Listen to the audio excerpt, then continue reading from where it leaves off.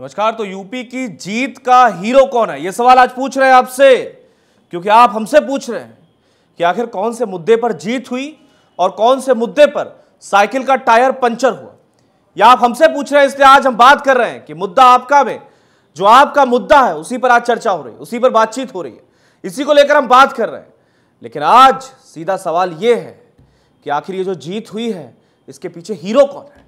इस जीत का हीरो कौन है? इस जीत का जो पूरा जीत का आप जिसको क्रेडिट देंगे, इस जीत का क्रेडिट किसको मिलना चाहिए? इसी को लेकर चर्चा कर रहे हैं। और एक और बात कह रहे हैं कि बाबा का बुलडोजर तो दौड़ रहा है, लेकिन बाबा का बुलडोजर जिसने दौड़ाया वो कौन है?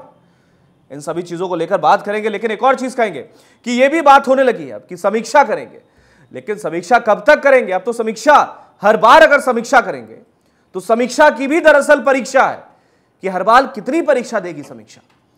हर बार हर बार मैं यहाँ पर बात एक बहुत बड़ी ऑपोजिशन पार्टी का कर रहा हूँ, जो कि सेंटर लेवल तक है।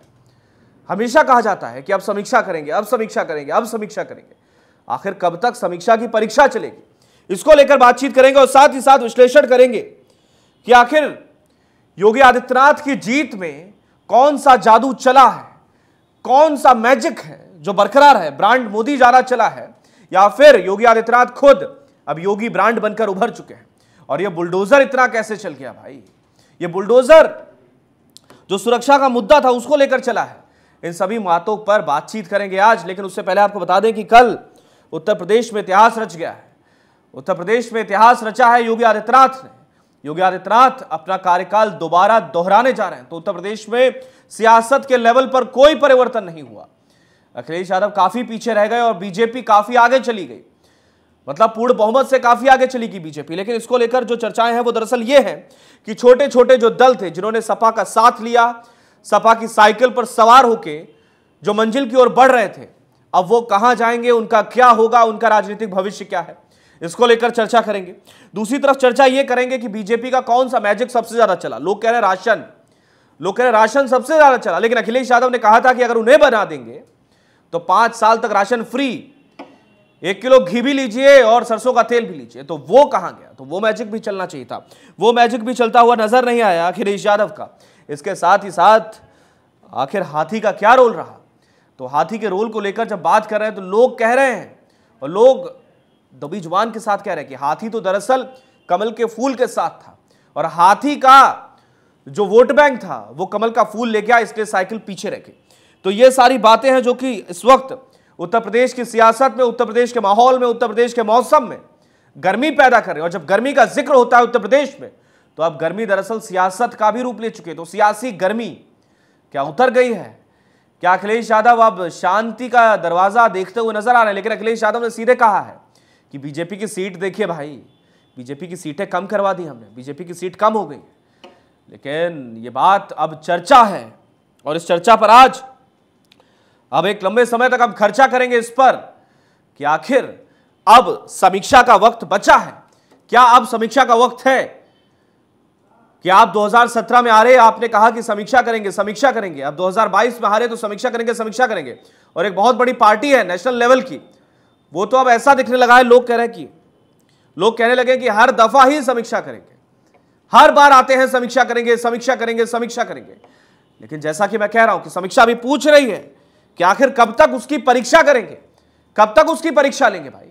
और एक और चीज़ कि उत्तर प्रदेश में कांग्रेस पार्टी देश की सबसे बड़ी सेंटर पार्टी, बीजेपी की बात है, लेकिन कांग्रेस की भी बात है। इस देश में सबसे ज़्यादा गवर्नेंस की है कांग्रेस ने। तो कांग्रेस पार्टी आखिर है कहाँ? और उत्तर प्रदेश जो सबसे बड़ा सूबा है, कहा जाता है कि अगर दिल्ली पहुँचना है तो उत्तर प्रदेश होकर जाइएगा, सियासत की बात करें तो। तो अगर उत्तर प्रदेश में जा ही नहीं पाएँगे, उत्तर प्रदेश में जनाधार बना ही नहीं पाएँगे, उत्तर प्रदेश में ग्राउंड पर कुछ हो ही नहीं पाएगा तो कैसे चलेगा? बात प्रियंका गांधी की कर रहा हूँ। प्रियंका गांधी 2017 में राहुल गांधी आए थे और 2022 में उनकी बहन प्रियंका गांधी आई। तमाम जगह नज़र आई जहाँ जहाँ कोई भी घटना हुई, सबसे पहले Priyanka Gandhi. Just before election just before election लेकिन लेकिन लेकिन लेकिन, ये बात है, ये बात है कि आखिर 2024 पे कैसे, क्या करेगी कांग्रेस? क्या छोटी छोटी जो पार्टियाँ हैं, इनको मिलकर ही अब बीजेपी से फाइट करनी होगी 2024 में? और 2027 के लिए क्या आप इंतज़ार कर रहे हैं अखिलेश यादव? तो 2027 में 27 में क्या कुछ करेंगे? इसको लेकर आज चर्चा करेंगे, बातचीत करेंगे हमारे साथ मेहमान। हमारी स्क्रीन पर है, संदीप दुबे साहब है, बीजेपी से हैं ए मिश्रा साहब है, राजनीतिक विश्लेषक है मनोज तिवारी साहब है, कांग्रेस से आप सभी का बहुत बहुत स्वागत है।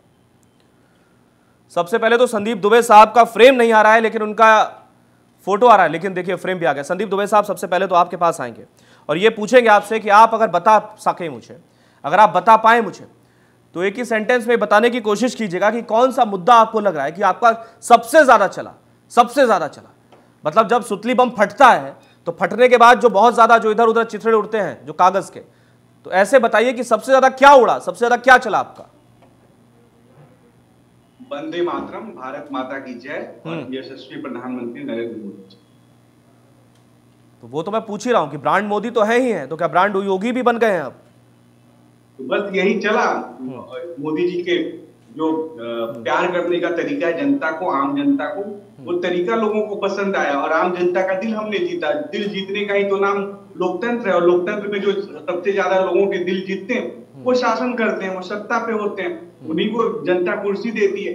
तो जनता ने हमें विश्वास दिया जनता ने हमें नैतिक बल दी और जनता ने हमें ईमानदारी दिया लेकिन लोग ये जो चुनाव था ना अगर हाँ। ये चुनाव सत्य पे और असत्य के बीच था कि हम सत्य बोलते थे जनता के बीच सपा कहती थी झूठ बोल रहे कांग्रेस बोलती थी झूठ बोल रहे हो। जनता ने इनको सबक सिखाया कि झूठ ये लोग बोल रहे थे और जनता ने सत्य को स्वीकार किया। तो ये असत्य पे सत्य की विजय है। और इसके लिए जितना साधुवाद दिया जाए मनोज भाई को और विपक्ष के उन लोगों को कि उन लोगों ने भी बहुत बड़ा काम किया।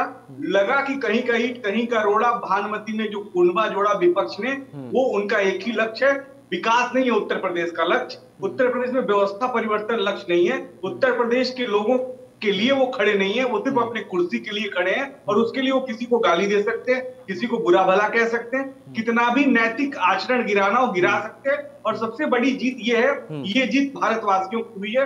पहली बार जातिवाद पे कठोरा कठोर आक्रमण जनता ने किया तो जातिवाद को पूर्णतः नकार दिया और उत्तर प्रदेश की जो सरकार बनी है वो सरकार की ज़िम्मेदारी है हम सबकी नैतिक ज़िम्मेदारी है हम लोगों को नैतिक बल जो उत्तर प्रदेश की जनता ने दिया हम्म। हम आने वाले समय में उनके सारे सपने पूरे करेंगे उत्तर प्रदेश के लोगों हम्म। के सपने पूरे करेंगे उसके लिए काम करें लेकिन लोग ये भी बात कर रहे हैं लुका छुपी करके ये बात कर रहे हैं कि अब ब्रांड मोदी के बराबर का भी कोई और नेता बीजेपी में जो वो आ गया है तो ब्रांड योगी की भी काफ़ी चर्चा हो रही है और कहा जा रहा है कि बीते जो ये चुनाव लड़ा गया ये दरअसल योगी के ब्रांड पर ज़्यादा लड़ा गया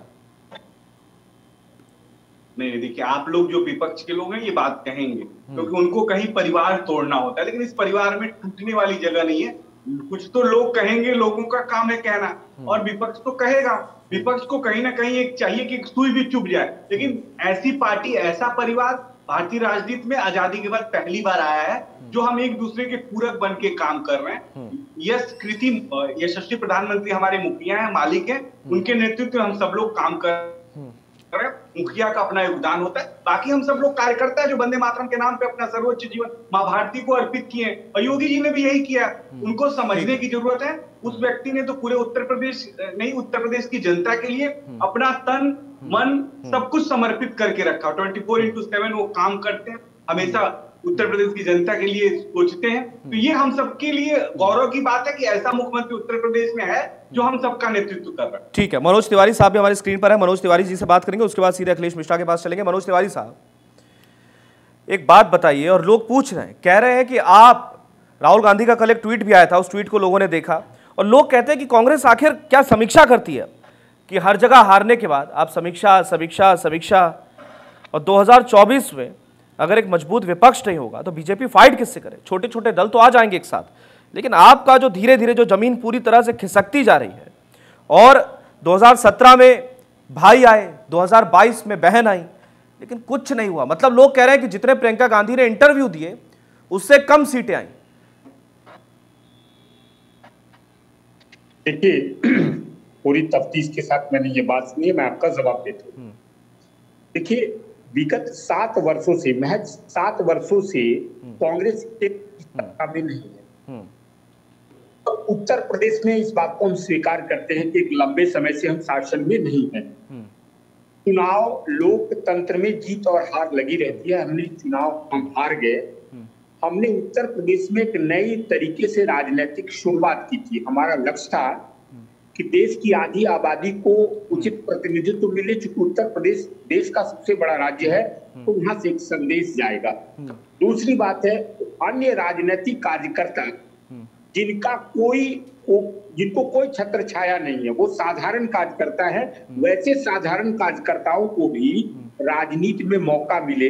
दुबे साहब तो मैं सुन रहा था वो भी एक राजनीतिक सर एक और बात है लोग एक और बात करते हैं लोग एक और बात करते हैं कि आपकी पार्टी में इतने बड़े बड़े नेता हैं जिनका नाम दरअसल खुद में ब्रांड है। लेकिन लोग कहते हैं कि ये कांग्रेस के भीतर ज़रूर है लेकिन इनके अंदर कांग्रेस नहीं है। इसलिए कह रहा हूँ कि आपकी पार्टी जितनी सीट लेकर आई उससे ज़्यादा तो निषाद पार्टी ले आई सुभाषपा ले आई यहाँ तक कि राजा भैया की एक सिंगल पर्सन की पार्टी जनसत्ता दल लोकतांत्रिक आपके बराबर सीट ले आई। तो क्या फ़ायदा इतनी बड़ी पार्टी का इतने संसाधनों का क्या फ़ायदा सर? उसका जवाब देता हूँ आप मेरे जवाब को सुनिए मैंने क्या बोला कि देखिए लोकतंत्र में एक समय ऐसा भी था हम्म। कि लाल कृष्ण आडवाणी और अटल बिहारी वाजपेयी सब लोग चुनाव हार गए और सुनने पर Bharatiya Janata party starting phase था सर स्टार्टिंग फ़ेज़ था ठीक है उसको छोड़ मैं मेरी बात को सुन लीजिए हर व्यक्ति की राजनीतिक शुरुआत होती है हाँ। देखिए मैंने तो आप मान रहे हैं कि कांग्रेस खत्म हो गई थी अब दोबारा से शुरू कर रही है दोबारा से शुरुआत हो रही है। देखिए आप लोकतंत्र के चौथे स्तंभ हैं। दुर्भाग्य ये है नहीं आप कह रहे हैं सर। विपक्ष की बातों को सुनना चाहिए लेकिन आप लोग उसके बीच को बाद में काट करके उस बात को पूर्ण नहीं होने आई एम वेरी क्यूरियस ये जानने के लिए। हम अपनी बात को रखेंगे कैसे? ठीक है। ये ये आपका भी कर्तव्य बनता है। ठीक है ठीक मैंने क्या बोला आपने जो सवाल मेरे से हम्म, किया हम्म। देखिए कांग्रेस बहुत लंबे समय से उत्तर प्रदेश में शासन में नहीं है हम्म। लेकिन कांग्रेस ही एक ऐसा दल है कि तीस इकतीस वर्षों से भी सत्ता में नहीं होने के बावजूद उसके राजनीतिक कार्यकर्ता कांग्रेस के प्रति प्रतिबद्धित है यह है विचारधारा देखिए विचारधाराओं के बल पर एक नई राजनीति की पहल हमने उत्तर प्रदेश में की हम्म। हम इस बात को स्वीकार करते हैं हम्म। कि हम अपनी बात को शायद जनता तक सही ढंग से नहीं पहुँचा पाए जिसका परिणाम हुआ कि हमारे पक्ष में परिणाम बेहतर नहीं रहा हम्म। लेकिन हम्म। एक राजनीतिक दल और जनता के प्रति प्रतिबद्धित होने के नाते। ये हमारा दायित्व बनता है कि हम अपनी हार की समीक्षा करते हुए निश्चित रूप से आगे का रास्ता तय करें और जनता के प्रति जो हमारी जवाबदेही है उसका निर्वहन करें। बिल्कुल सर मैं चिंतित हूँ 2024 को लेकर। बिल्कुल सेकंड राउंड में आपके पास आऊँगा सेकंड राउंड में जल्दी जल्दी करते हैं। अखिलेश जी के पास मैं बाद में आऊँगा लेकिन उससे पहले क्योंकि हमारे साथ पुष्पेंद्र जी हैं समाजवादी पार्टी से। पुष्पेंद्र जी लगातार जो जब वोटिंग आई थी जब वोटिंग शुरू हुई काउंटिंग शुरू हुई काउंटिंग से पहले लगातार दिख रहा था और आपने धीरे से एक मैं जिसको इंजेक्शन कहता हूँ इंजेक्शन भी नैरेटिव का रिलीज़ कर दिया था। लोगों को लग रहा था कि ठीक है, समाजवादी पार्टी मजबूती के साथ आ सकती है। समीकरण भी दिख रहे हैं, ठीक है, ये है, वो है, एक बोर्ड हटाने वाली घटना भी हुई। तो लोगों को कहीं ना कहीं शंका हुई कि ठीक है, इस बार समाजवादी पार्टी आ सकती है। लेकिन आप तो काफ़ी पीछे रह गए, बहुत पीछे रह गए इनफैक्ट तो अब जब समीक्षा की बात आ रही है, मैं इनफैक्ट बहुत पीछे रह गया, इसलिए कह रहा हूँ कि अब जब समीक्षा की बात आई है तो समीक्षा में क्या पॉइंट निकल कर आ रहे हैं आपकी तरफ़ से? कि कहाँ पीछे रह गए? कहाँ कमी रह गई? सर एक बार तो जनता ने एक बार जनता ने जनता के मुद्दे पर वोट नहीं दिया इस बार। हम्म। दूसरी बात सर ये है कि जो वोट बीएसपी का हम्म। जो वोट था वो ट्रांसफ़र रहा बीजेपी को? प्रॉपर पूरा पूरा दूसरी बात और एक बड़ा ये हमको जो नज़र आया एक तो लेकिन उनको क्यों ट्रांसफ़र हुआ? मायावती जी ने तो कहीं भी किसी मंच से नहीं कहा कि हमारा जो वोटर है वो इधर ट्रांसफ़र हो जाएगी। माया माया आपको क्यों नहीं ट्रांसफ़र हो गया? नहीं सर एमपी की जब चुनाव थे उसमें ओपनली कहा गया था प्रेस कॉन्फ्रेंस करके कि हमने कहा कि वो वोट सभा को ना चला जाए सत्रह में कि सभा को ना चला जाए इसलिए हमने बोल दिया कि बीजेपी को वोट दो। उसके बाद तो सर एंट्री और साइलेंट वोट जो उनको गया और इसमें बहुत बड़ा रोल निभाया साइलेंट वोटरों ने। जो वोटर साइलेंट रहे जिनका कोई ये नहीं पता चल पाया कि वो कहाँ जा रहे हैं। हाँ। उसी के और अगर आप देखेंगे तो समाजवादी पार्टी का वोट बैंक बढ़ा है। हाँ। समाजवादी पार्टी का वोट बैंक बढ़ा है। वो बेशक सीटों में तब्दील नहीं हुआ क्योंकि अस्सी पचास लेकिन बीजेपी का वोट बैंक आपसे ज़्यादा है परसेंटेज भी आपसे ज़्यादा है सीटें भी आपसे ज़्यादा है। और अगर आप ये कह रहे हैं कि मायावती बीजेपी की तरफ़ रुझान जो आप कह रहे हैं इंक्लाइंट थी तो ऐसे तो अगर मायावती जी बीजेपी की तरफ़ रहेंगे तो आप कभी नहीं जीत पाएँगे फिर। नहीं सर ऐसा है सुनिए। मैंने मैंने कहा साइलेंट वोट अगर वो ओपनली इस बार साथ रहे उनके साथ रहती तो इतना प्रभाव नहीं पड़ता कि लोग समझ लेते लेकिन वो साइलेंट वोट जो उन्होंने। करवाया। उसका नुकसान हुआ। और दूसरी बात ये है कि जब इस बार आप देखेंगे समाजवादी पार्टी का वोट बैंक जो है वो बढ़ा है। आप ठीक है चलिए समाजवादी पार्टी का वोट बैंक बढ़ा है बीजेपी की सीटें कम हुई है अंडर करेंट और साइलेंट वोटर अखिलेश जी ये मुझे बहुत शानदार तरीके से समझाएँगे। अखिलेश जी, दो ही चीज़ें होती हैं। और ये हम भी लेकर चलते हैं जेब में डालकर घूमते हैं, चुनाव से पहले। कि अगर कोई पूछ दे कि कौन आएगा, ठीक है ठीक है, वो आएँगे। लेकिन अगर वो आ गए तो साइलेंट वोटर और अंडर करंट, दो बातें चिपका दीजिए, बढ़िया से। अखिलेश जी, वो क्या चीज़ें आप महसूस कर रहे हैं, जिनकी वजह से समाजवादी पार्टी, लड़ाई भीषण लड़ी, समाजवादी पार्टी एक्टिव रही पूरी पूरी तरह से एक्टिव रही।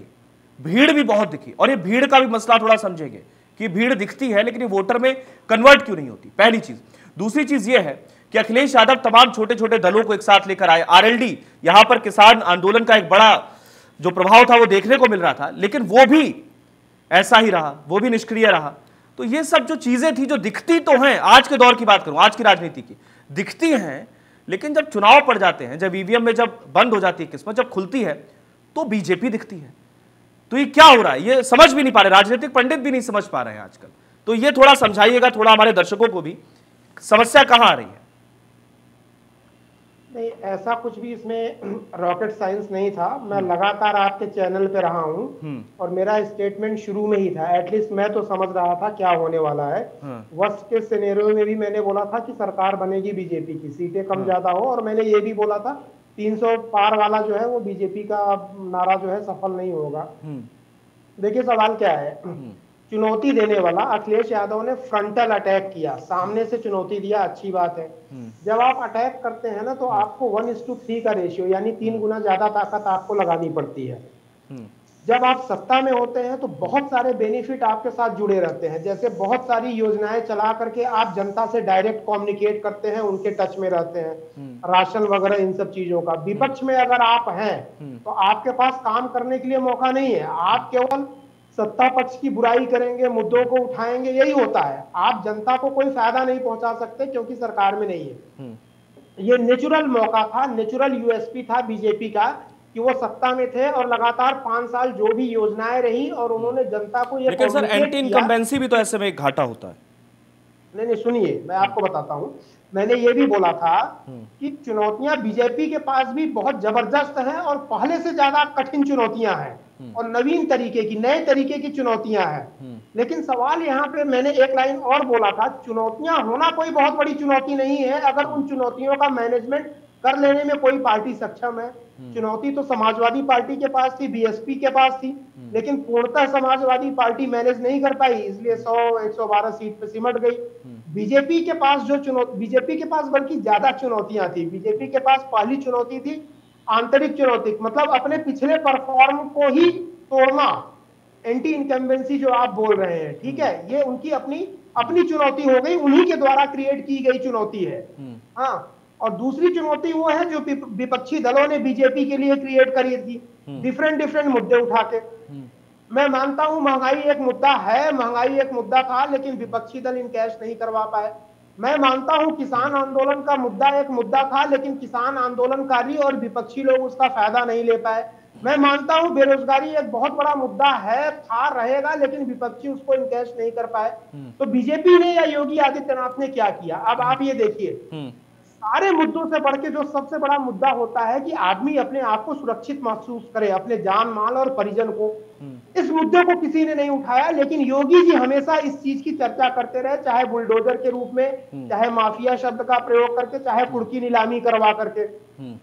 एक बहुत ज़बरदस्त साइलेंट जो है इंप्रेशन इस चीज़ का पड़ा है। आप ये देखिए बड़े से बड़ा बिजनेसमैन करोड़ों रुपए आपके पास हो लेकिन आपके जान की जब बाजी आती है तो आप पैसे छोड़ के अपनी जान बचाते हो। मतलब आप कह रहे हैं कि तो गुंडागर्दी वाला जो गुंडागर्दी वाला जो टैग है वो नहीं हटा पाई समाजवादी पार्टी। नहीं नहीं हाँ कोई भी नहीं हटा पाया। मैं तो ये बोलता हूँ इसके पहले बहुत बड़े बड़े मुख्यमंत्री हुए नेता हुए सारी चीज़ें हुए हार्वर्ड से पढ़े हुए यहाँ पे इंटेलेक्चुअल्स और प्रोफेशनल रहे आईजी डीआईजी आईएएस पीसीएस सब रहे। लेकिन ये जो एक क्राइम का मुद्दा था उसको कोई मैनेज नहीं कर पाया। अब एक मठ से निकल करके एक आदमी ने क्राइम के मुद्दे को सॉल्व कर दिया। सीधे उन्होंने सीधे अटैक किया इतनी बड़ी दुश्मनी ली इतना बड़ा खतरा मोल लिया। भाई म्यांमार में भी जो एक विराथू एक साधु था उसने यही तो किया बिना किसी राजनीतिक पद पे होके। तो सुरक्षा का मुद्दा सबसे अहम मुद्दा है जो लोगों के दिलों को छू गया है। महिलाओं को बेटियों को माताओं को बहनों को ठीक है? इस मुद्दे की कोई काट विपक्ष नहीं निकाल पाया। न विपक्ष अपने पास्ट परफॉर्मेंस पास्ट कमियों के कारण देखे तो विपक्ष का कैसा समाजवादी पार्टी का एकदम गुंडागर्दी वाला ही परसेप्शन बना हुआ है वो उसको चेंज नहीं कर पाए।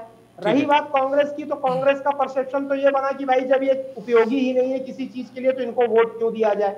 अभी तक राहुल गांधी के ऊपर टैग था कि ये जहाँ जाते हैं नैया डूबोते हैं उनसे भी आगे बढ़ के प्रियंका गांधी नहीं तो ये अच्छी चीज़ नहीं अच्छी चीज़ नहीं है ये चिंता ये चिंता की बात है। अखिलेश ये बताइए 2024 में ये हाँ क्या होगा फिर? बोलिए। हम्म। कुछ देखिए 2024 में अभी से बोल देता हूँ वो बीजेपी का होगा। अब आप पूछेंगे आप बीजेपी के प्रवक्ता बन गए हैं। मैं बीजेपी के प्रवक्ता नहीं बना हूँ। हम्म। देखिए लगातार हम परफॉर्मेंस देख रहे हैं विपक्षी दलों की। हम्म। उनके परफॉर्मेंस को देखते हुए ये अनुमान लगाया जा सकता है कि पिछले नौ सालों में बीस सालों में अगर नहीं सुधार पाए कांग्रेस के पास साठ साल का एक्सपीरियंस है। आप हर बार पाँच साल के बाद चुनाव हारोगे और बोलोगे अब हम अगले पाँच साल के बाद अगली बार देखेंगे। तो लोग भी तो अखिलेश जी फिर लोग भी फिर अखिलेश जी फिर लोग भी चिंतित हैं कि अगर कोई होगा ही नहीं इनका राइवल ढंग से इनसे लड़ाई करने के लिए तो फिर तो अपनी मनमर्जी चलेगी। लोकसभा में ज़्यादा सीटें हैं कोई भी। अब देखिए आज भी लोग कह रहे हैं कि जब मन चाह कृषि कानून ले आए और जब मन चाह कृषि कानूनों को वापस कर दिया। नहीं नहीं लोग चिंतित नहीं है। देखिए क्या है कृषि कानून को लाना और वापस करना ये कोई बहुत बड़ी चुनौती नहीं है। हम्म। लोग आज चिंतित हैं। मैं आपको बता दूँ हम्म। 80 और 20 का जो फार्मूला है मैंने आपके चैनल पे बताया था। 80 परसेंट लोग इसलिए चिंतित है कि चाइना अटैक कर रहा है पाकिस्तान अटैक कर रहा है इंटरनेशनल साजिशें चल रही हैं दुश्मनी चल रही है और इकोनॉमी इंडिया की सेफ़ रहेगी कि नहीं पहली चीज़। लोग चिंतित हैं अपने जान और माल के लिए चिंतित हैं। जो खतरा 25 साल के बाद आने वाला है 30 साल के बाद आने वाला है या 50 साल के बाद आने वाला है वो खतरा क्या आप कह रहे हैं लोग जाने खगही की भाषा आप समझ गए। हम्म, दूरदृष्टि दूरदृष्टि। लोगों नहीं नहीं नहीं। हम्म। लोगों की सबसे बड़ी चिंता ये है कि हमारा राष्ट्र सुरक्षित है कि नहीं है? हम्म। हमारा राष्ट्रवाद हमारा सनातन सभ्यता की परंपरा हमारे तीज त्योहार सुरक्षित है कि नहीं है? हम मना पाएँगे कि नहीं मना पाएँगे? ठीक है बिल्कुल। ठीक है पुष्पेन जी अब इसी में समाजवादी पार्टी का एक युवा टाइप का नेता आकर के बोलता है कि छह महीने किसी का ट्रांसफ़र नहीं होगा पहले हिसाब किताब लिया जाएगा। तो इससे तो जनता और भय में आ गई कि भैया ये इनकी अभी ये हालत है। अखिलेश यादव बोल रहे हैं कि जिन पत्रकारों ने जो बोला है जिन नेताओं ने ऑफिसर्स ने बोला है सबका लिस्ट हमने बना के रखी हुई है सबका हिसाब होगा। तो, छवि है छवि से उभर नहीं पाए निकल नहीं पाए। बहुत एग्रेसिवली बहुत एग्रेसिवली कैंपेनिंग की है आप ये कह रहे हैं। सुनिए। हाँ। नहीं नहीं गलत एग्रेसिवली नहीं की है। रॉन्ग पोजिशनिंग रॉन्ग कैंपेन आप जनता को भयमुक्त करने आए हैं कि भययुक्त हाँ। करने आए हैं? आप हाँ। मुझे ये बताइए जनता भयमुक्त होना चाहती है? आप भययुक्त की बात कर रहे हैं। भाई वोट आपको किसी ने नहीं दिया किसी ने आपके खिलाफ बोल दिया ठीक है। तो आप उसकी गर्दन काट लेंगे धमकी देंगे। ठीक है अखिलेश जी अब दूसरे राउंड में आपके पास आते हैं। सबसे पहले पुष्पेन जी के पास चलेगा फिर सीधे हम आएँगे संदीप दुबे साहब के पास। संदीप दुबे साहब आपके पास आएँगे। लेकिन पुष्पेन जी जैसा कि अभी अखिलेश जी भी बात कर रहे थे।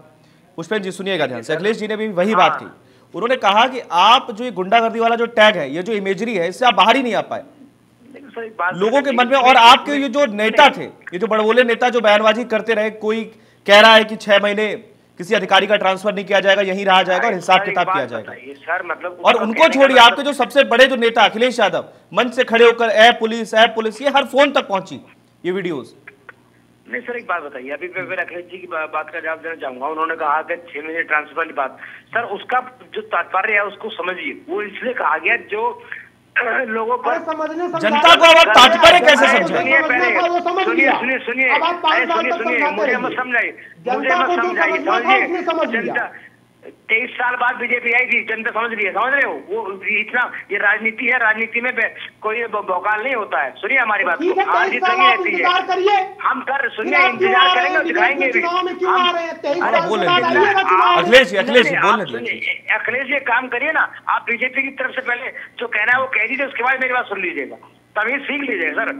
जब मैं आप बोल रहे थे मैं चुपचाप सुन रहा था। मैं बोला नहीं था। तो मैं बोला सुनिए मेरे बात को। रखिए रखिए। सोच रहे हैं कि समाजवादी पार्टी से अगर हारी है तो वो धरेगी नहीं पार्टी को अरे गुंडागर्दी वाला जो टैग है क्यों नहीं हटा पाए भाई? ये बता दीजिए हाँ, बस। सर, हाँ सर वो हम बता रहे हैं उसको हम समझा रहे हैं। हाँ ये बात है जनता का जनाधार है उसका हम स्वागत करते हैं। दूसरी बात ये है कि वोट बैंक भी बड़ा है और जो अभी जो, जो इन्होंने कहा कि अब जो बयान उन्होंने दिया वो बयान छह महीने वाला वो था कि जो गलत मुकदमे जनता पर और समाजवादी साथियों पर लगे हैं उनका हिसाब निंदा संचित था कि उन मुकदमों को जो गलत है उनका आप हटा कर जाएँगे। मतलब आपकी सरकार आती कहा तो जो भी सपा से ताल्लुक रखते हैं उन सब लोगों को आप उनके ऊपर से मुकदमे हटवा देते ये आप कहना चाह रहे हैं? ठीक है अब आप कुछ भी समझाइए। ताल्लुक का मतलब ये नहीं कि हम गलत मुकदमे हटवाते। जो नाजायज मुकदमे थे उनको हटवाए ठीक है आप जाइए जनता को घर घर जाकर समझाइए कि क्या तात्पर्य था उनकी बातों का क्या तात्पर्य नहीं था। अब घर घर जाकर समझाइए ठीक है। राज, राजनीति है, चलता है। इसमें कोई इतना बड़ा वो नहीं है। ठीक है, राजनीति है, चलता है। बहुत बढ़िया बहुत बढ़िया ख्याल है ये दिल को तसल्ली देने के लिए कि राजनीति है, सब चलता है। संदीप दुबे साहब हमारे साथ है। संदीप दुबे जी, लोग कह रहे हैं और लोग बाहर ये बातें कर रहे हैं कि आप का जो मेन जो एजेंडा यहाँ पर चला, जो मेन मुद्दा यहाँ पर चला, वो राशन का बहुत चला। तो राशन का लास्ट टाइम पे चल गया। और लोग फिर दूसरी तरफ़ विपक्ष भी, जो इससे पहले जो विपक्ष कह रहा था कि ये सिर्फ़ मार्च तक है। मार्च तक है, उसके बाद कुछ नहीं है। लेकिन जो गरीब तबका है, जो बहुत गरीब तबका है, वो दरअसल राशन को लेकर आपसे बहुत ज़्यादा पसंद है, आप पसंद कर रहा है आपको। लेकिन अगर ये मार्च तक है तो फिर ये तो एक लॉलीपॉप हो गया। नहीं, देखिए, दो बातें बहुत नहीं, दो बातें बहुत इंपॉर्टेंट एक तो ए के मिश्रा जी कह रहे थे, मैं उनके कई बातों पे उन हद तक सहमत हूँ। कारण ये होता है कि जब हम लोग कोई बात कहते हैं, किसी के मन में कोई भाव आता है तो भाव ऐसा नहीं कि उस व्यक्ति की बातें सौ प्रतिशत गलत होती है। उसमें बहुत सी बातें होती है जो बहुत अच्छी होती है। देखिए नो डाउट दो साल जो हमारे भारत के बीते हैं या विश्व के बीते हैं कोविड में वो किसी भी देश में ऐसी विपदा ना आ जाए ऐसी आफत ना आ जाए और किसी परिवार के साथ ऐसा ना हो। भारत स्वीकार हम लोग को करना पड़ेगा। इंदिरा जी ने गरीबी हटाओ का नारा जब वो प्रधानमंत्री थी, थी और आज तक भी भारत में हम प्रधानमंत्री आए और चले गए आते रहते हैं जाते रहते हैं।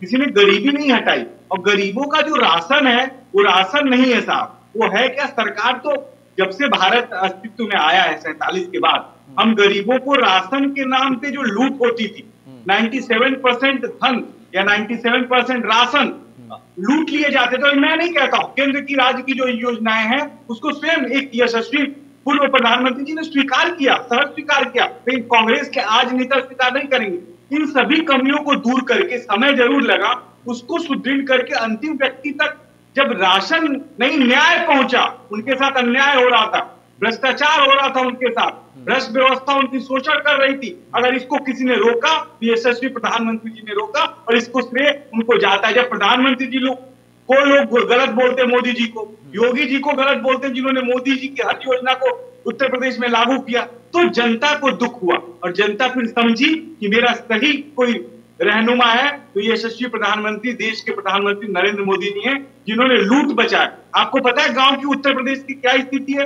या एक गाँव का जो दबंग आदमी होता है, सबका हिस्सा खा जाता है? सरकारी योजना का सबका हिस्सा खा जाता है। और जो ये प्रधान या मुखिया इस तरह की व्यवस्था बनी हुई थी, ये सब खत्म हुई। अब डायरेक्ट आता है। डायरेक्ट आम आदमी के खाते में पैसा, आम आदमी के पास राशन आम माँ बहनों के लिए वो जो गैस का चूल्हा जो आँखें उनसे रोजो रोज आती थी पानी उनके घर घर तक पहुँचा कोशिश हुई हो सकता है हमने सौ प्रतिशत कोशिश करी 10% जीते हैं तो हमने भी नाकाम रहे हो। लेकिन हमने तो अपनी नाकामी भी स्वीकार करी विपक्ष चिल्लाता रहा हमने कहा कि तुम जो जो बातें कह रहे हो वो ठीक भी हो सकती है लेकिन हम इन सबको दूर करेंगे तो दृढ़ करके आएँगे। तो जनता को विश्वास है कि जिसने बर्तन धोए धोने वाला आदमी जो बर्तन धोता है उसको पता है कि लोटा में मिट्टी लगा के ही बर्तन धोया जाता है। तो भारतीय जनता पार्टी ने आम जन के लिए बेहतर व्यवस्था सुनिश्चित करी और आम जन का दिल जीता है और लोटा पार्टी भी खत्म हुई है उत्तर प्रदेश के अंदर। नहीं तो लोटा पार्टी में माँ बहने इतनी परेशान होती थी मैं बता नहीं सकता। तो व्यवस्थाएँ बदली है और लोहिया जी भी कहते थे बदलाव हो लेकिन धीरे धीरे हो लेकिन ये तीव्र गति का बदलाव बदलाव हो तेज तेज हो मोदी जी ने करके ये साबित कर बिल्कुल। और दुबे जी, क्या है ना कि अब आप मेजोरिटी के साथ जीत कर आए हैं। अब आप जीत कर आए हैं, जनादेश का जो सम्मान है वो हम सभी करते हैं तो ऐसे में आप जो भी कहेंगे, बहुत ज़्यादा पॉसिबिलिटी कि आप ठीक ही कह रहे होंगे। रूट पर जो काम है वो आपने किया होगा, तभी मेजोरिटी आई है। लेकिन मनोज तिवारी साहब, मनोज तिवारी जी जैसा कि मैंने अखिलेश जी से भी कहा कि मैं और ऐसा पत्रकार इसलिए चिंतित हूँ कि 2024 में 2024 में क्या होगा? क्योंकि उत्तराखंड में आपका जनाधार तो छोड़िए, जन भी नहीं है। आप इस चीज़ को समझिए। 2017 में राहुल गांधी और अब 2022 की मैं बात करूँ तो प्रियंका गांधी। दोनों आकर देख लिए बहन भाई। अब क्या बचा है? आपके थर्ड कोई फेस है जिसको आप ट्राई करने की कोशिश करेंगे? और लोग तो ये कह रहे हैं कि चुनाव थे इसलिए आई थी प्रियंका जी। चुनाव खत्म खेल खत्म अब वापसी है। ध्यान से सुनिएगा। मैं अखिलेश जी एक वरिष्ठ पत्रकार हैं। हम्म। जरा भारत का राजनीतिक इतिहास का थोड़ा सा समय मुझे एक मिनट के लिए दे दीजिएगा। हम्म। नहीं बहुत बहुत इजी है बहुत इजी है इतिहास पे इतिहास पे राजनीति की बातें करना या फिर भविष्य वर्तमान पर वर्तमान पर बात दे, दे भी देना है और उनको बोलने भी नहीं देना है। ठीक है। अरे मैं यशस्वी जी के बारे में बता रहा हूँ ना सुन तो लीजिए अपने चैनल पर। अब अखिलेश जी वरिष्ठ पत्रकार है मुझे ये बता दें कि माननीय यशस्वी प्रधानमंत्री जी जब गुजरात के मुख्यमंत्री थे उसके पहले उनका कोई ऐसा राजनीतिक किसी इतिहास इस चैनल पर वो बता दे कि जनता के संघर्ष के लिए वो एक लाठी खाए हो? गुजरात में भारतीय जनता पार्टी की अंदरूनी स्थिति खराब थी तो नरेंद्र मोदी को बफर मुख्यमंत्री बना दिया गया। वो सत्ता में आए तो उन्होंने अपने काम को दिखाया। राहुल गांधी पंद्रह वर्षों से सिर्फ़ संघर्ष और गाली सुन रहे हैं। अच्छा। और उनको तमाम तरीके का जो विश्लेषण उनके बारे में किया जा रहा है उसमें मीडिया का भी बहुत बड़ा हाथ है हाँ। मैं आपको बताता हूँ। राहुल गांधी संघर्ष कर रहे हैं वो गलत है। और नरेंद्र मोदी जी अचानक आ जाते हैं तो उन वो यशस्वी हो गए और राहुल गांधी संघर्ष कर रहे हैं तो उनका कोई कोई योगदान नहीं है पहली बात। दूसरी बात ये क्या दर्शाता है आप अपने नेता को यशस्वी कहिए ना आपने कहा होता है। आप राहुल जी को कहिए बहुत यशस्वी है बहुत अच्छे हैं। आप तो हमारे नेता नहीं थे आप कहना पूरा जाया कर रहे कांग्रेस पार्टी के लोग कांग्रेस की बोलते दिशा अपने काम के विषय में बोलते मनोज तिवारी मनोज तिवारी जब आप ऐसी बात बनाते हैं राहुल जी को नेता मानने यही तो है? दुर्भाग्य भारतीय जनता पार्टी जीत गई। अब आप लोगों ने प्रोग्राम शुरू कर दिया। दुर्भाग्य का जनादेश है सर। वोटिंग प्रक्रिया है लोकतंत्र ठीक है। देश के लिए दुखद है। हम्म, ठीक है ये देश के लिए दुखद है। ठीक है अखिलेश जी आज के समय में कांग्रेस विभाजित हुई। लोगों ने कहा कांग्रेस खत्म हो गई।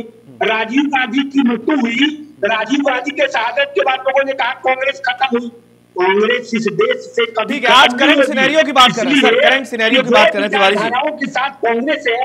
अरे सर। ठीक है करंट सिनेरियो की बात कर रहे हैं और शायद कनेक्शन जो है, वो डिस्कनेक्ट हो गया। लेकिन ये ज़रूर पूछना चाहेंगे कि कह रहे हैं कि राहुल गांधी संघर्ष कर रहे हैं। अब, है नहीं तिवारी जी, वरना सवाल ज़रूर करते। अखिलेश जी कुछ कहना चाहते हैं, लेकिन तिवारी जी अगर जुड़े तो ठीक है, चलिए तिवारी जी अभी फ़िलहाल के लिए डिस्कनेक्ट है। और अखिलेश जी कहना चाह रहे हैं। अखिलेश जी।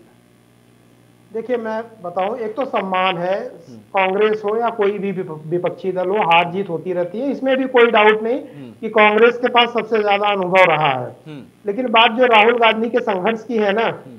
तो मुझे बड़ा कोष्ट होता है अपनी किस्मत पे काश मुझे भी ऐसा संघर्ष करने का मौका मिला होता कि बचपन से ही सोने के चम्मच में बैठे होते हेलीकॉप्टर से स्कूल गए होते नौकर चाकर होते बीएमडब्ल्यू से हम जाते घूम के चले आते और हेलीकॉप्टर से जाते प्रचार प्रचार करके आते।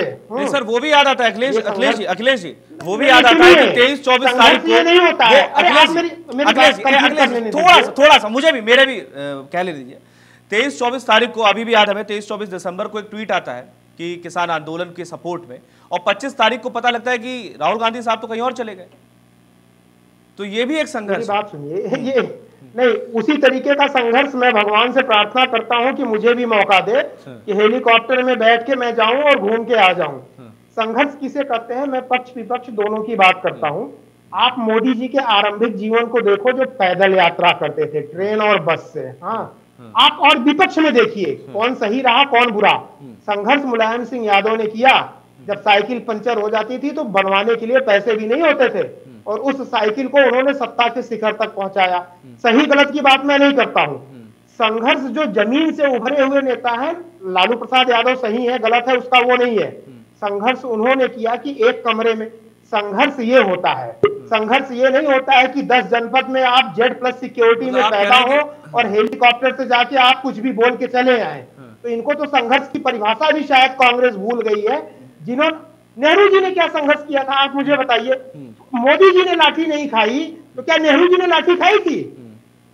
एक उदाहरण खाई थी। ने लाठी खाई अखिलेश जी बिल्कुल खाई थी। मुझे लगता है मुझे बड़ा दुख हो रहा है कि आप एक पत्रकार होने के बावजूद भी लाला- भारत के लाला लाजपत राय ने लाठी खाई थी। लाला लाला लाजपत राय ने लाठी खाई थी।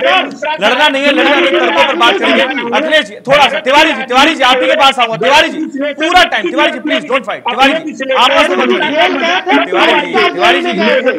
जहाँ उनको सारी सुविधाएँ मिलती थी वो जेल से बैठ के अपने परिवार को पत्र लिखते थे। मैं आपको चैलेंज करता हूँ। मुझे एक बात बता दीजिए। आप इतिहास मत समझाइए मुझे। कृपया इस टेलीविज़न चैनल पर आप पत्रकार हैं बताइए। दुनिया का कोई ऐसा पॉलिटिशियन बताइए जिसने पूरे दुनिया के इतिहास को एक किताब में कंपाइल कर दिया हो। ही नेहरू। दस साल तक नेहरू जेल में रहे। सुन लीजिए मैं आपको। नेहरू की किताब पर वोट मांगने की कैसे छोड़िए चलिए। अंधभक्त का उदाहरण अब नेहरू जी अब नेहरू जी भाषण देने थोड़ी ना आएँगे सर। तिवारी जब नेहरू जी भाषण देने थोड़ी ना आएँगे जो उनके नाम पर वोट मिल जाएगा ठीक है छोड़िए। महान नेता थे बड़े नेता थे मैं मानता हूँ। नरेंद्र मोदी के नेहरू जी बड़े नेता थे महान नेता थे हम मान लेते हैं। देश की आज़ादी में कभी मैं- जेल गए थे अरे सर, अरे क्या बात करते हैं ठीक है चलिए Tiwari ji Tiwari ji please Tiwari ji please cool down Tiwari ji. Please Tiwari ji Tiwari ji मुझे अखिलेश जी से और भी कुछ पूछना। तिवारी जी अरे अखिलेश जी मुझे आपसे कुछ बात करिए तिवारी जी का तिवारी जी का ऑडियो म्यूट कर दीजिए प्लीज़ तिवारी जी का ऑडियो म्यूट कर दीजिए प्लीज़ अखिलेश जी से कुछ बात करिए। अखिलेश जी से कुछ बात करिए। अखिलेश जी ठीक है म्यूट हो गए अखिलेश जी मुझे है। अखिलेश जी मुझे आपसे कुछ बात करनी अखिलेश जी मुझे आपसे कुछ बात करनी है अखिलेश जी ये और जानना चाह रहा था क्योंकि पुष्पेंद्र जी आपकी बाजू वाली खिड़की पर हैं। ये और जानना चाह रहे हैं कि आपने कहा कि संघर्ष किया। मुलायम सिंह यादव ने भी संघर्ष किया। तो ये जो संघर्ष ट्रांसफ़र होता है पीढ़ी में अगली पीढ़ी में तो फिर संघर्ष की जो वैल्यू है वो घट जाती है। क्योंकि अखिलेश यादव को उतना प्रेम क्यों नहीं मिल रहा है? ये आपसे पूछ रहे हैं। अरे सर एक मुहावरा है बड़ा पुराना। हाँ वो कहा जाने पीर पर आई हाँ। जाके पैर न फटे बिवाई। तो राहुल गांधी के पैर में बिवाई फटा है ये क्या समझेंगे? देश और जनता का दुख दर्द और मिजाज। प्रियंका गांधी के पैर में जो है बिवाई पड़ी है। हाँ, आप मुझे बताइए नेहरू जी कितना पैदल चलते थे? आप हेलीकॉप्टर और मोटर विंटेज कारें जो आज होती हैं वो उनके टाइम पे होती थी दुनिया की बेहतरीन कारें होती थी। ठीक है महान नेता थे प्रधानमंत्री थे वो सारी चीज़ें मान्य है। लेकिन अगर संघर्ष की बात करें तो आप तिवारी जी आऊँगा पर तिवारी जी तिवारी जी आऊँगा। आपको ऑडियो नहीं आ रहा है तिवारी जी प्लीज़ आप आऊँगा आप पर भी आऊँगा अखिलेश जी। चाहे वो बीजेपी से हो सपा से हो बसपा से हो किसी भी पार्टी से हो संघर्ष उन्होंने किया था। मैं यूपी में भी अभी बहुत सारे ऐसे नेताओं को बताऊँगा पार्टियों को बताऊँगा जिनकी पहली पीढ़ी ने संघर्ष किया है जिनके पास जाने के लिए साइकिल और मोटरसाइकिल तक से उन्होंने यात्रा की है साइकिल तक संघर्ष आप वाजपेयी जी का देखिए संघर्ष उन्होंने लोहिया जी वगैरह जो थे उन्होंने क्या संघर्ष किया है वो देखिए। चंद्रशेखर जी थे जो भूतपूर्व प्रधानमंत्री उनके संघर्ष को देखिए कि उनको जीप तक नहीं नसीब हो पाई थी पैदल गए थे। तो संघर्ष की परिभाषा ये नहीं है सर कि हेलीकॉप्टर में बैठ गए और चले ये संघर्ष नहीं है। तो पहले के नेता जो संघर्ष कर पार जाते थे पहले के नेता जो संघर्ष कर पार जाते थे आज कहाँ पा पाएँगे? आप लोहिया जी की बात करें लोहिया जी को दिल्ली में जो- दिल्ली की दिल्ली की बसों में लटक कर कर सफ़र करते थे। आज कोई लटक कर तो सफ़र संघर्ष है सर वो नहीं नहीं है। किसने बोला नहीं है सर? आप मुझे ये नहीं नहीं मैं कह रहा हूँ वो तो संघर्ष है। आज की डेट में तो संघर्ष से कुछ मिलेगा। आप ये बताइए बीजेपी का लखनऊ में जो कार्यालय है और समाजवादी पार्टी का जो लखनऊ में कार्यालय है वहाँ पर आप साइकिल से जाइए टिकट मांगने स्कूटर से जाइए हाँ, अल्टो से जाइए एट हंड्रेड से जाइए। आपको कोई गेट के अंदर भी नहीं जाने बता नहीं नहीं नहीं नहीं ये गलत परसेप्शन है। मैं आपको बता रहा हूँ। बीजेपी ने ऐसे लोगों को भी एमपी और उसमें टिकट दिए हैं। जो कहीं कुटी में झोपड़ी में रह रहे थे उनको बुला के टिकट दिया गया है ठीक है? रही बात संघर्ष की तो एक संघर्ष के बाद आपको अपना फल मिलता है। ज़रूरी नहीं है कि आप हमेशा स... तो आप बता ही दीजिए राहुल गांधी का संघर्ष का पीक पॉइंट क्या है? राहुल गांधी के संघर्ष का पीक पॉइंट कब आएगा? बता दीजिए तिवारी जी बहुत देर से वेट कर रहे हैं। नहीं हमें क्या ये तिवारी जी बताएँगे ना कि उनका उनका संघर्ष का ये पीक पॉइंट चल रहा है कि अभी पीक पॉइंट आना बाकी है। मिश्रा जी सुन लीजिए राहुल गांधी जनता के प्रति प्रतिबद्धित लोग हैं चुनाव जीत कर आते हैं। लेकिन जनता समझ रहे हैं ना? जनता उनको चुन करके भेजती है। अमेठी से लोगों का अमेठी से जीत के वायनाड गए थे ना? सुन लीजिए ना। अमेठी से जीत के वायनाड गए थे ना? ग्वालियर से चुनाव हार गए थे। आप इतिहास को समझिए। अटल बिहारी वाजपेयी चुनाव हार गए थे। तो क्या हो गया? आप पता क्या बोल रहे हैं? लोकतंत्र में हो जनता के लोगों को अपने ही जनता को और उनके सोच का सोच के प्रति आप उंगली उठा रहे हैं। आप तो लोकतंत्र के विरोधी लोग हैं। आपको मैं शुभकामनाएँ आपको देता हूँ और विपक्षियों को देता हूँ कांग्रेस को भी देता हूँ। अब आप तय कर लीजिए कि पाँच साल में आएँगे कि पंद्रह साल संघर्ष चलेगा कि पच्चीस साल की पैंतीस साल? जब तक मेरी शुभकामनाएँ हैं। राज मिश्रा जी राजनीति में इसका कोई विश्लेषण नहीं होता है। राजनीति प्रतिबद्धता है और हम प्रतिबद्धित लोग हैं। सर हम कांग्रेस सत्ता में नहीं है तो कांग्रेस का पक्ष रख रहे हैं। आप सर, सत्ता की बात कर रहे हैं तिवारी तो तिवारी जी जो बात कर रहे हैं हम सत्ता में नहीं है। उसके बावजूद कांग्रेस के प्रति प्रतिबद्ध है। मैं सहमति रखते हैं। और आप जो है पाँच सात वर्षों में अरे मिश्रा जी सुनिए वहाँ पे अरे मिश्रा जी सुन तो दीजिए। सुनने की क्षमता रखिए। सात वर्षों में ये जो बौद्धिकता आप दर्शा रहे हैं टेलीविज़न चैनल पर आपकी बौद्धिकता सात वर्ष पहले नकवा मार गई थी क्या? आपको नहीं पता था क्या?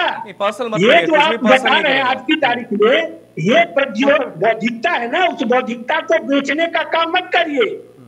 ठीक है चलिए तिवारी जी तिवारी जी अखिलेश जी जवाब दीजिएगा लेकिन तिवारी जी प्लीज़ तिवारी जी अब आप तिवारी जी जो सोच कर आए हैं वो बोलना है क्या? तिवारी जी तिवारी जी और हट कर आए हैं वो बोल ही देंगे क्या?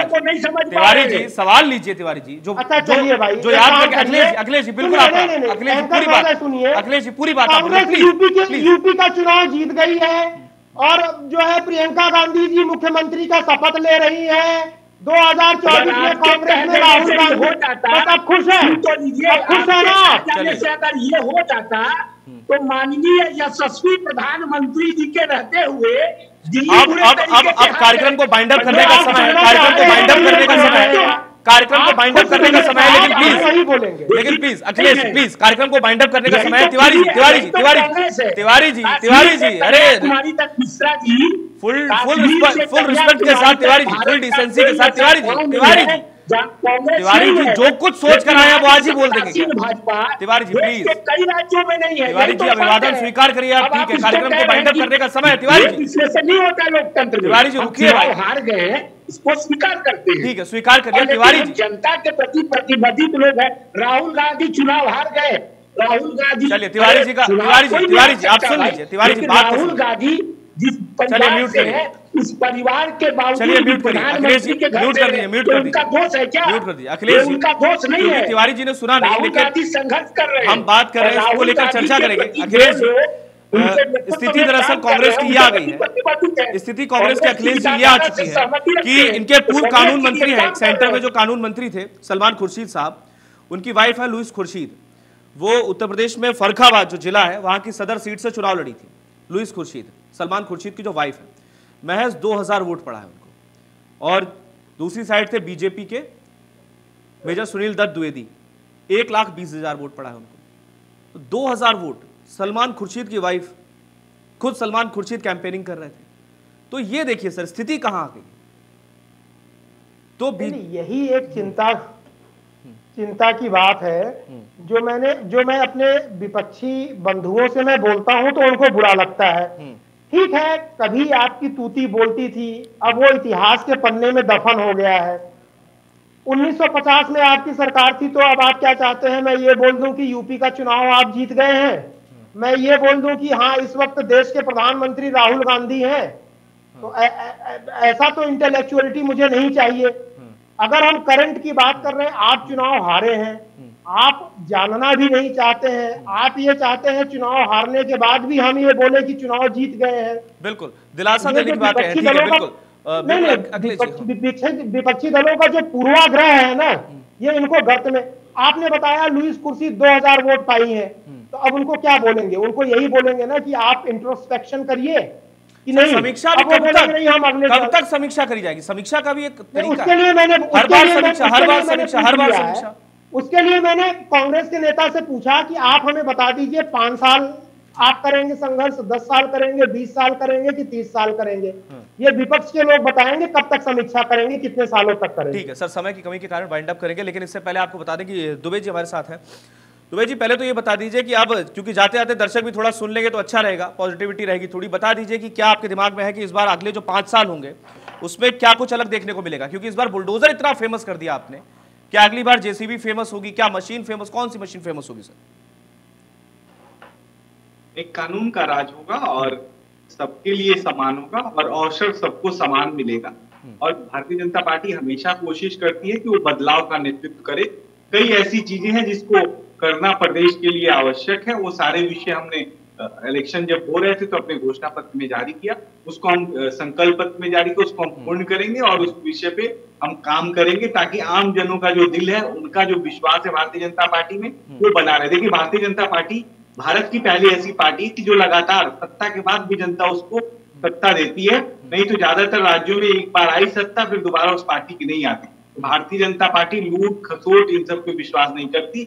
नैतिक बल नैतिक आचरण पे भी इसके कार्यकर्ता विश्वास करते हैं। है। और हमें खुशी है कि जनता ने हमें वोट दिया है और हम जनता के दिलों का जीतने का काम अभी भी निरंतर जारी रखेंगे। और किसी तो आपने बनाई दिया है दुबे जी। सबको साथ लेके चल बिल्कुल दुबे जी आपको बहुत बहुत शुभकामनाएँ। जीत की हार्दिक बधाई आपको और बहुत बहुत शुक्रिया हमारे साथ जुड़ने के लिए। अखिलेश जी आपका भी बहुत बहुत शुक्रिया दुबे जी आपका भी बहुत बहुत शुक्रिया चौधरी साहब आपका भी बहुत बहुत शुक्रिया और तिवारी जी आपका भी बहुत बहुत शुक्रिया। तो आज कार्यक्रम जो था वो ये था कि आखिर जो पार्टियाँ हैं, जो हार गई हैं और समीक्षा की बात जो चल रही है तो समीक्षा के बाद कब तक परीक्षा होती रहेगी, ये भी एक बड़ा सवाल है। और साथ ही साथ बीजेपी की जीत के साथ अब क्या बदलाव प्रदेश में देखने को मिलेंगे आने वाला वक्त बताएगा। लेकिन किन मुद्दों को लेकर बीजेपी आज इतनी प्रचंड बहुमत के साथ जीत का जो पताका है फहरा रही है, क्या उन मुद्दों पर, उन बातों पर, उन दावों पर खरा उतर पाएगी आने वाले समय में? इंतज़ार रहेगा।